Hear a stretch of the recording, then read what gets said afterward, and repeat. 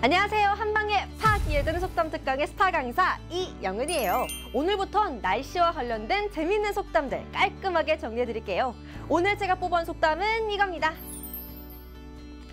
처서가 지나면 모기 입이 비뚤어진다. 많이 들어본 속담인데 정확히 무슨 뜻일까요? 자, 설명 들어갑니다. 절기상으로 처서는 입추가 지난 다음인데요. 처서는 멈출 처, 더위 서자로 더위가 멈춘다는 뜻이에요. 이제 슬슬 가을로 접어드는 시기인 거죠.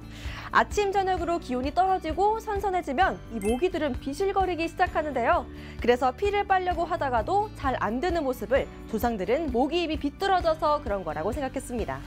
정리하면 이 속담은 날씨가 서늘해지고 모기도 서서히 없어진다는 뜻입니다. 근데 요즘 모기는 안 그런 것 같죠? 다음 시간에 또 만나요. 안녕!